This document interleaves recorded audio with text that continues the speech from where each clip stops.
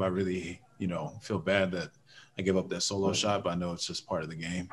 Um, but I, I, think honestly, it's just showing that everything I've worked on this offseason and working with Doug and and Sags have been paying off. You know, getting ahead, staying ahead, and pounding the zone and just coming after guys.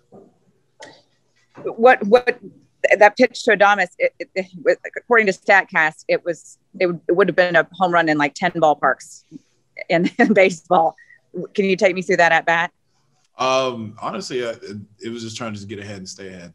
Uh, it was a fastball away, um, and the way it kind of came off the bat, I kind of I thought it was a pop up, honestly, and then it ended up hitting the top of the fence. So um, it was it was a little gut wrenching because I was like, man, it's a tight situation, you know, momentum and everything. So I was trying to do everything I could to try to keep the momentum on our side. And I know you want, like you said, you want to win, but what what do these outings do for you? Uh, confidence wise and not just for you but seeing Dane what he did and then John coming in you know for you guys as a as a as a pitching staff?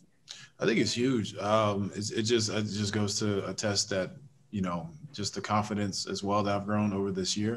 Uh but mainly it was just piggybacking off of last year where I picked up off. Um and just more so just trying to continue being aggressive against guys and just saying hey here here it is like hit it. Thanks Taylor. Thank you. Other questions for Taylor Chris. Hey Taylor, Chris was Chris Woodward was talking about your fastball, saying that there isn't a lefty that's got a fastball like yours throughout throughout the game. And you know, when you only have a three pitch mix and you throw the same four seamer and you're not able to hitters aren't able to make as much contact. How how does that drive your confidence up and on how much you can use your fastball to to stay ahead of hitter and get ahead of hitters? I think I think just the biggest thing um, I've learned is how to not be scared about it and not be scared to use it. Um, I trust all my pitches and everything, but for me, honestly, if I'm able to, you know, I, my initial thought is not to go in every AB and try to blow you by with fastballs every time. You know, try to make an adjustment, but um, honestly, just for me, I, it, it, helps me out. I've learned it from starting and now using it in the pen to where I learned that if I'm able to get ahead with the fastball, whatever it is, it helps set everything else up like it, it showed, you know, today. I think the biggest test just overall for you in your major league career so far, at least pitching out of the bullpen, has been maintaining success past an inning. And, and tonight is probably the, the, the best you've been able to do that so far. Um, or do you just take just like okay well it's just easy i'll repeat it you know but that's obviously easier said than done. What what can you do to continue to be able to do that the next time out? I take i, I think one thing that's really helped me out um, i um, try to take every every inning as a single inning shutout. So i try not to look too too far ahead. I've never been a guy that looks too far ahead. Uh, I kind of did that the first first guy, Brett, and you know, end up walking him. Kind of was thinking a little two pitches ahead. And I kind of had to put myself in check and be like, you know, let's take it pitch by pitch, like how we usually do it.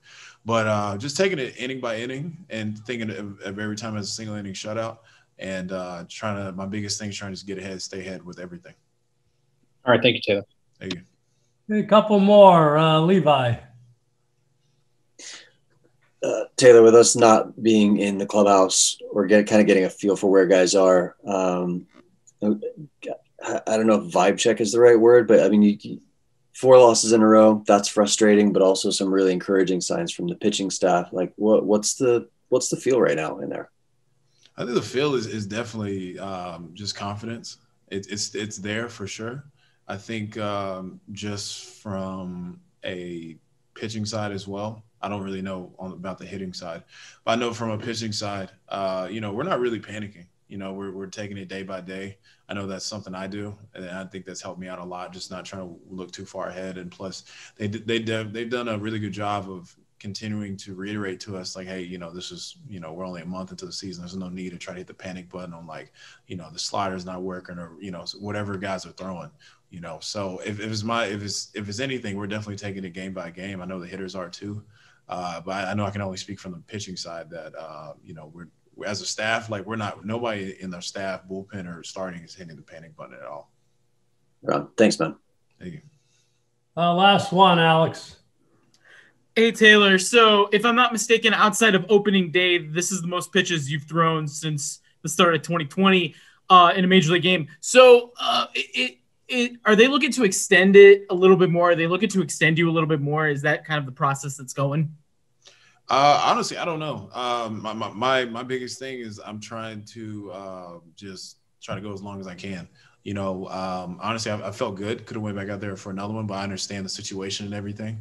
Um, but I mean, honestly, it was just, just honestly, when I, I mean, they, they called me on opening day. So like I told my, my parents and family, like I, I'm ready for whatever they call me, you know, cause I, now, now that I've, I've, i was able to pitch in the pen last year and had some ups and downs, but honestly, the biggest thing I learned took from last year and took it into this year was just more so just trying to find a rhythm and just a routine because pitching going from starting to the pen is very hard, you know, and especially doing on a 60 game sprint, you know, every game matters.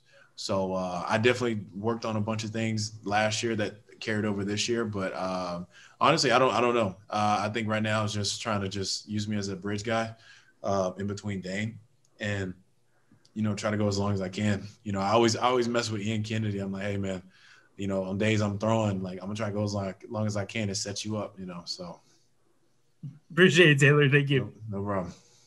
Okay, that let we'll let Taylor go. That will conclude our post game zooms for this evening. Thank you, everybody.